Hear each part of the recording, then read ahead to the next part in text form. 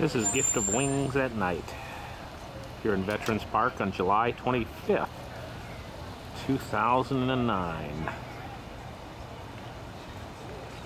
During the Air and Water Show here in Veterans Park, downtown Milwaukee. It's a beautiful sight.